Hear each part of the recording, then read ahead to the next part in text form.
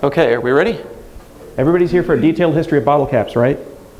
1837 to present. No, I'm just kidding. I was like, I had to put something in there that. That's the other conference. Yes, I, that's the one I'm going to tomorrow. No, we're here to learn everything you needed to know about Kubernetes TLS, but we're afraid to ask. Uh, just a quick little slide about me. That QR code has my contact info and the link to the slides embedded in it. Don't worry if you miss this one, there will be another one later that has just a link to the slides and you'll be able to get to all this info. Um, I am working at HashiCorp now. I just rolled over there from Mesosphere. So we are hiring, by the way. That link goes to our careers page if you're interested. Um, yeah, I've been in IT for 20 some years now, 25, which makes me feel really, really old. And Kubernetes for about the last four. So, okay, good. Now the people are starting to trickle in. Stalling for time was the right move. So, why are you here? Doesn't everything handle TLS automatically these days and do a perfect job of it? Hands up everybody who's ever wanted to swear at their vendor because it didn't handle TLS certificates properly. Yeah, I know, there's a few hands going up. All right, who here works for a vendor and wants to swear at your own employer because they don't handle TLS? okay, see, there's a few. I have a slide for both groups of you later. So yeah, no, things don't handle TLS as automatically as you'd like. Sometimes even when they do, you know, bugs, things go wrong, uh, machines go down in the middle of updates. Uh, sometimes humans do those things.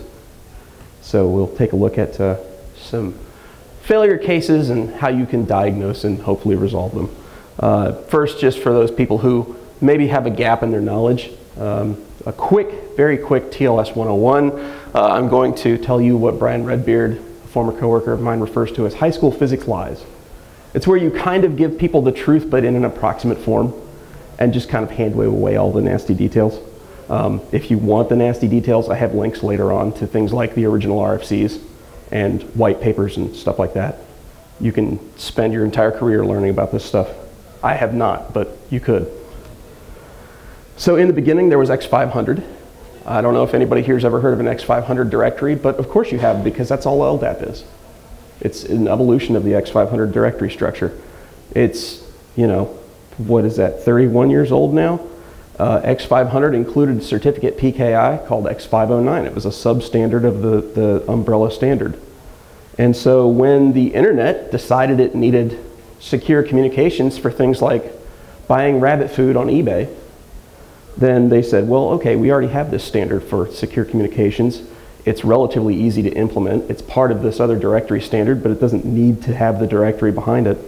So they kind of took it and ran with it and it's evolved and so has the standard practice you know of browser makers and client writers and so on what is a certificate at base a certificate is just a structured document and it has information about the subject it has the subject's public key it has a signature from a certificate authority and most of them in fact pretty much all the ones you're likely to see these days have extensions that were defined in a later update of the standard that define things like what you can use that certificate for. Can you use it for code signing? Can you use it for server communications? Can it be a certificate authority? We'll see what that looks like in a second. Uh, some additional names for the subject, that's an extension. So there's a few things here. You can see the issuer, which is the certificate authority. This is obviously one that I generated for the demo. It has some info about when it is valid, uh, it has some info about the subject that the authority issued the certificate to.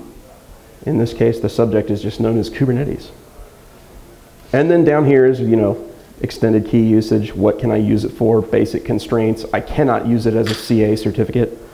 And then these are the alternative names because you can only have one canonical name, but you can have potentially many names and they're all defined in alternative names. So to have the CA issue a certificate, you generate your public key.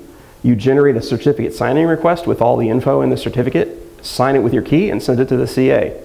They sign it with their key and send you back a certificate, and you're in business. So what is an authority? It's a key pair and a certificate. That's basically, in its most primitive form, that's what a certificate authority is. That's all you need to operate as your own CA, should you wish to do so. Now, there's more stuff around that, that CAs typically are expected to manage, things like certificate revocation lists and certificate logs and transparency logs, but they're not technically necessary to be a CA just to issue certificates. And so this is really all that defines a CA right here, is this basic constraint that says CA true. That means this is a CA certificate. That's the only difference. Uh, typically, you will not see CAs use their actual root certificate to sign yours. They create themselves intermediate certificates, and that's so that if an intermediate certificate is compromised, they don't go out of business. Uh, I don't know if anybody here noticed, but Symantec basically did go out of business because they had a compromise that was severe enough that basically all the OS and browser makers in the world said, we simply don't trust you anymore. You, you messed up too, just too bad. Do you need to be a certificate authority? I said you can be. Do you need to be? You might be already. A lot of products have a certificate authority embedded in them that they use to bootstrap themselves if you don't feed them certificates at install time. And if you don't know if you have one of those, you probably do, and you probably better find out about it because if somebody manages to break in and subvert that CA, they can do two things. They can issue themselves certificates, which they don't even have to subvert the CA to do. They just have to find an exposed endpoint and say, give me a certificate. And if your CA says, here you go, well, now that as far as you know, they're a trusted party. Uh, the other thing is a compromised CA means that they now have the key that was used to create all of your legitimate certificates, which is not a good thing either. Uh, but if you, you may want or need to be your own CA, if you're not already, because you need to own your root of trust. You need to rotate certificates regularly, but you're air gapped, so you can't use something like Let's Encrypt, or it would cost you too much money from a third-party CA. Uh, you have a lot of certificates and you need to be able to issue them right away, like basically on demand. Um, you can use the Acme stuff that Let's Encrypt is based on for that locally, but uh, sometimes people prefer just to do it the old-fashioned way. Or, you know, you like being frustrated and annoyed. Um, I can't tell you how many times during preparation of this talk I was like, why does it work that way? Well, it just does. okay, now, there's several slides below this one. I'm not going to go past the first one, but there are other opinion slides below this, and if you want to see them, you can just go to the slide link and feel free to read them and, and tell me on Twitter how I'm completely wrong about everything I said there. Um, this one I am completely right about. If you're a vendor and you claim your product is enterprise ready, you have to be able to do these things at minimum. And here's the point score you get for doing them. If you generate a self-signed wildcard leaf and you use it for everything, minus 50 points. You did the absolute minimum and you're promoting terrible security practices in the bargain. And a lot of stuff simply won't even work with that kind of certificate anymore because it's such a terrible thing to do. Generate a CA, use it to create leaf certificates, you get a few points for that. Accept a user CA and key and use that to create leaf certificates, you get some more points for that. Here's where the points start racking up. If you can handle certificate rotation, without it being a huge pain, you get some, some serious points for that. And, and the reason I give this the most points is because this is all most enterprises can do. If you can accept a user supplied CA and a set of leaf certificates and just use them as is without generating anything of your own, you get all the points. And then if you get all the points, you get 10 bonus points just because I'm feeling generous.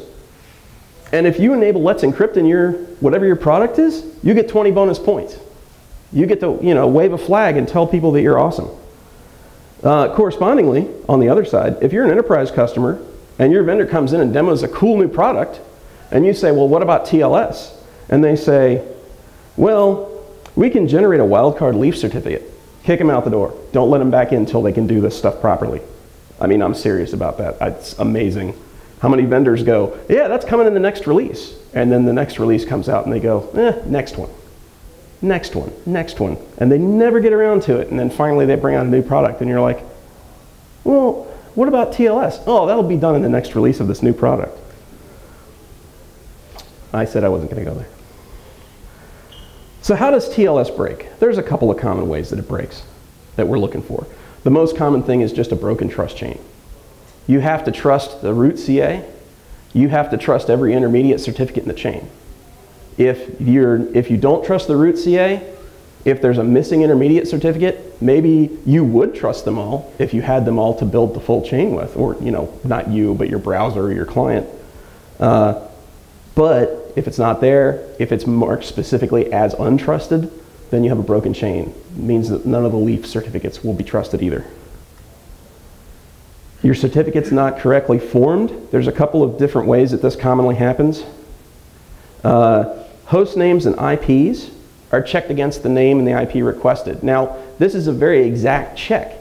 You can't put a host name in the certificate and then have the IP that that name resolves to just work. The IP has to be in the certificate as well. And whatever's in the canonical name has to be in the subject alternative name too. In fact, um, it did not used to be that way in practice, but somebody started reading the spec really stringently and so it became common practice to basically just ignore the common name if it wasn't in the subject alternative names. And now, uh, I was just reading it as I was prepping this talk, uh, Google has now just dropped parsing the canonical name completely. Subject alternative name is all they look at in Chrome now. Uh, if you list IPs as names, it's an exact match only. There's no wildcard IPs. And you see certificates out there that have wildcard IPs in their SANs, and that doesn't work. So you know, you go to try to access something by IP with that certificate, and even though it's a technically a valid certificate, it's not a valid trust. Uh, this is probably the second most common one actually, but I listed it last. Uh, certificates are only valid for a limited time. Now, that limited time can be as long as you or your certificate authority like, but it does expire at some point. There's no such thing as an indefinite certificate. And CA certificates expire too. So if your CA certificate expired and your LEAF certificate somehow was issued to have an expiration time after the CA certificate expired, a lot of clients won't accept that either. Because they go, well, the CA expired, it's not valid anymore. How can anything it issued be valid anymore? There's some extra security that's sort of outside of the outside of the uh, actual X509 standard. Uh, there's this key pinning and certificate pinning thing where your client or your web browser will actually, the first time you access a site and get a certificate and a key, it remembers them and then it compares them the next time. And if they change the next time and there isn't a very specific process followed to change them over clean, then it just throws an error and says, you know, somebody's trying to do something nasty it assumes that the website you're going to has been compromised because the key changed or the certificate changed in a way that it doesn't like. Uh, the other thing is low security configurations, like those self-signed leaf certificates, or it used to be common to see SHA-1 signature hashes in a certificate. Those aren't allowed anymore. If you have a certificate that uses SHA-1, it's going to be rejected now. So like I said, stuff breaks, but under what circumstances would you see it break? Generally, because somebody made a mistake with the setup in the first place, because a rotation failed, or somebody just let it sit too long. Certificate's expired. So, you know, the next time somebody comes back to it, they've got an expired certificate, their, their clients are failing, their peers are failing, whatever the case may be. Where in Kubernetes will it break? Well, there's a few places it can break. Anything that talks to the API server, other control plane components, kubelets, any add-ons or utilities you've installed. Anybody here ever installed Weave Scope? No? A few? Yeah. Uh, Weave Scope talks to the API server all the time. So if the API server certificates aren't in order, Weave Scope will just refuse to talk to it. The API server talks to other things. It talks to etcd, it talks to the kubelets to get info on them. Uh, and all of these transactions have a second side, which is the client verification. The API server is not going to let you talk to it unless you're allowed to. So it's doing client verification, and that may or may not have the same configuration. It may or may not use the same certificate authority, for example, as the serving certificate. So you can actually have two different CAs. You can have one for the certificate that the API server presents, and a different one for these client certificates that the API server authenticates. And then, of course, your own applications. That's kind of where you come in. You have to make sure that your own applications can handle and use TLS certificates properly. So how do you debug any of it? We're going to see some of this in detail later as much as I have time for. Um, I think we're doing pretty good on time. Uh, the first thing is output and logs. If you're centrally logging, if you've got Splunk running or, you know, whatever your central log system of choice is, uh, you know, elk stack, whatever it is, go ahead and search through your logs for TLS errors. I bet you'll see a few, even if it's fairly harmless stuff. But if you're not and something's failing, you know, if it's a Kubernetes pod, you can always do a kube control logs. If it's a control plane component that's not running as a pod, you know, you did it the old-fashioned way and ran it as a systemd service, then you just journal control dash u. Uh, or, you know, if it's running in a Docker container, you can do a Docker logs. No big deal there. Uh, you can examine the certificates directly in a couple of ways. OpenSSL, it's big, it's ugly, it's old, the code base is a mess, but you're going to end up using it a lot. So you might as well learn how to do the two or three useful things with it that you need to know how to do. So the decode for a standard TLS certificate uses the X509 subcommand. That no out there, even though it is going to give you output, the no out means don't write a file out. It's one of the weird things that OpenSSL has. Write it out in text format, and then you give it a certificate file. You can also pipe things to it, in which case you don't need the dash in argument. You can just pipe output from something to OpenSSL X509. And it'll you know, decode it and dump it to standard out, and you can scroll back up and down and look at what's going on. If you don't have access to the actual file, but you're trying to decode you know, what might be going wrong with something you're trying to connect to, it actually has an SSL client that will connect to whatever host import you give it. There's a show certs flag that will dump out the certificate blobs. Then you can pipe them to OpenSSL X509 and decode them and look at them that way, even if you don't have access to the actual files. And if that endpoint isn't exposed outside your cluster, so you know you can't just do it from your laptop, you can always run a debug container on the host somehow. You know, run a Docker container, attach it to the same network as the target container service, and then run OpenSSL. Um, you're not going to see that necessarily, but I actually did that while I was developing this talk, and I used Alpine for it. So you just run an Alpine container, APK add OpenSSL, and you're in business. So demo time. Uh, let's see, what time is it? All right, I've got time for probably the whole thing. So I have this lovely little demo. This is actually running on a Flatcar Linux VM on this laptop. Um, it's going to spin up just enough Kubernetes control plane components that we can do some nifty stuff. So the first thing is I need to go into my demo and make sure that everything's where it should be. And then I bootstrap the demo. Okay. And this is now using CFSSL to generate a bunch of CAs and certificates and create kube configs. And then it's starting up a bunch of Docker containers. And I go Docker PS. And everything looks great. And so I export kube config.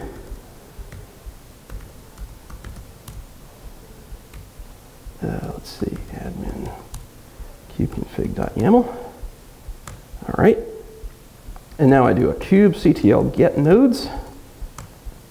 Oh, what happened? What's going on with my Docker PS? Something failed. The API server failed. So why did the API server fail? Well, let's take a look. Let's do a Docker logs since it's not running.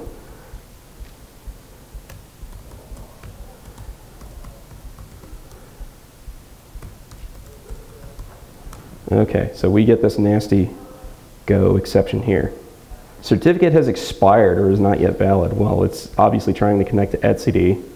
So let's take a look at etcd. Um, I'll go ahead and do that S client connect. See, this proves that I'm not faking the demo because nobody would fake a demo with this terrible typing. Okay, show certs. I'm just going to pipe it straight to OpenSSL X509.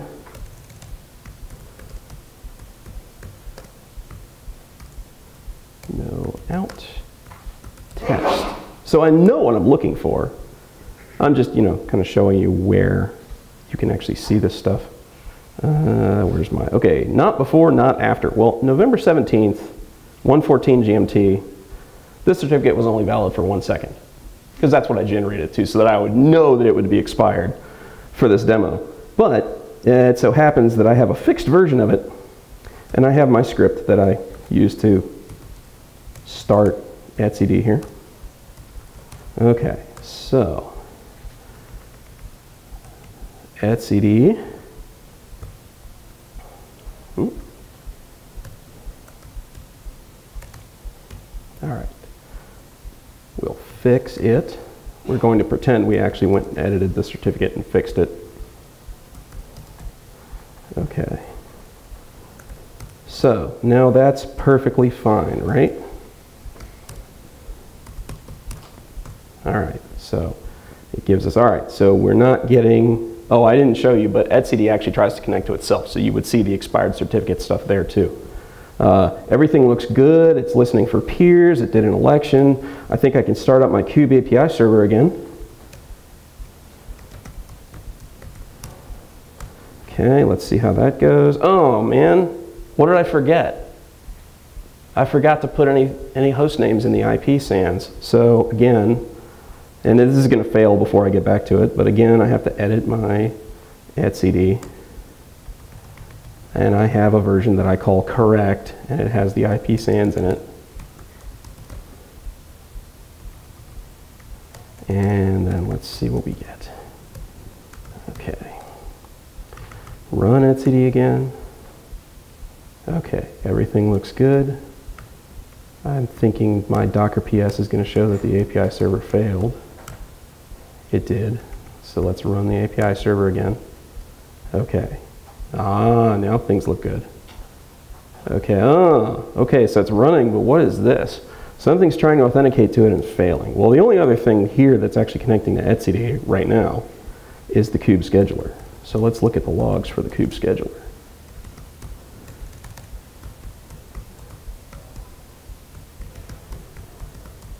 And we'll see Okay, so here it's trying to connect to the API server and it's getting unauthorized. Now, I could spend a lot of time going through everything on the Kube scheduler. I'm going to tell you right up front, everything on the Kube scheduler is fine. The problem is, again, with the Kube API server. So, let's take a look at the Kube API server's client config. Okay, so we've got a client CA file. I'm pretty sure that's not the CA file that I intended to be authenticating clients with. So if I go through and I look at that one,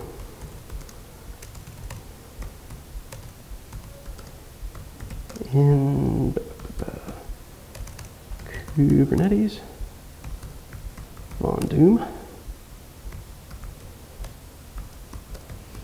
Let's see who this belongs to. Whoops, I forgot my X509. Okay, so everything looks good. It is a CA certificate, that's fine. It's valid, that's fine. Oh, this is Victor Von Doom's CA certificate. We don't want Victor Von Doom authenticating clients. This would actually potentially be something you would look at and go, I think I've been subverted. If somebody's able to substitute a bad or incorrect client CA verification file. Uh, so let's see, so let's fix that. Again, I already have the correct file prepped, so we can fix that, kick Victor Von Doom out of our environment, run the kubeapi server again, everything goes through. All right, so now we're not getting those nasty client errors. We are still getting some errors. That's normal because we just have a little stump of a cluster here. Let's take a look at our, whoops, where was my logs for the yeah. Okay, so now the kube scheduler is connecting fine. So we can go back and do our kubectl, right? Whoops. kubectl get nodes. No, we can't. Our kube config is not correct. This is actually also a TLS problem because the TLS certificate for the client for kube config is embedded in the kube config itself. Now, you can actually pull that out with kubectl and JQ and all that, I already wrote a script to do it so that we can just look at it without you watching me type all that out. And here's the problem. The subject info is not correct. I'm not in the right group And I'm also not the right canonical user. So, if I export, whoops, export admin client, and now, if I get nodes, this is what I should see because I have this tiny little cluster. There's no nodes, there's no pods. It doesn't even know component statuses. But the point is I'm not getting that TLS error anymore. So we have a few minutes. Anybody have any questions? No? Yeah? Oh, okay, and back?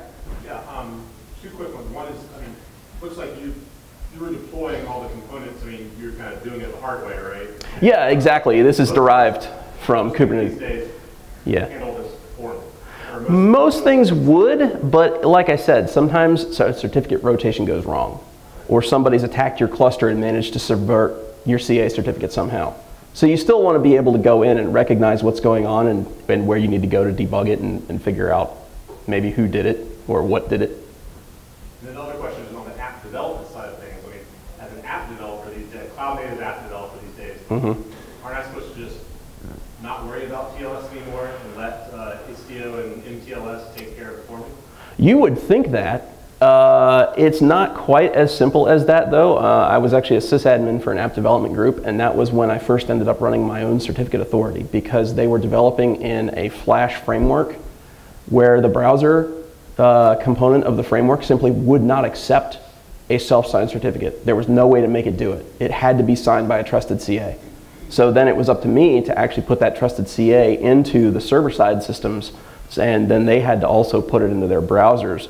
You know, this was you know this was in a lab environment, but still, it was something that the developers had to be able to recognize and come to me and go, "This is what we need. You know, how can you help us out?" I'll go ahead and flip over to, this is the further info slide. I said there would be some links. Um, there's a couple of talks. If anybody went to Connor Gilbert's talk earlier today, he touched on some of this. And it looks like, judging by the description, tomorrow's talk, Duffy Cooley and Nicholas Lane, is going to go into a lot of this around certificate rotation and such. So, yes, Um, For a cluster that you have, I mean, something that you have deployed, you'll have a CA that is created by yourself, right? So what happens if that is compromised? How do you uh, rotate the whole thing? Well, that's kind of a disaster scenario, right? Because if your CA gets compromised, you can't trust any certificates that it's issued, at least since the compromise. Maybe not ever. Um, I would tend to think that at that point you have to invalidate everything that it's ever issued and start over. And they're actually, I think they're talking about expired certificates tomorrow, but I think some of what they're going to go into is actually going to be kind of in the same vein. Like your certificates are all bad and have to be regenerated. What do you do? So, uh, okay, so they are also going to talk about any tooling out there? Some of it, yeah. I mean, I, I didn't like see their talk in advance or anything, but just judging by the description, it looks like if that's the kind of thing that you're looking at, you'll want to go to their talk as well. hmm Yeah. Do you think there's any- anything we could or should be doing in kind of core Kubernetes that makes any of this easier? The biggest thing I think is certificate rotation is still a pain, and everybody has to solve it independently, and everybody seems to solve it a little bit differently. And it would be nice if that was just a core feature, like here's an endpoint, it's time to rotate certificates, here's a new CA certificate or generate one, you know, here's the new key if it's one that I'm giving you, and just go out and do what needs to be done.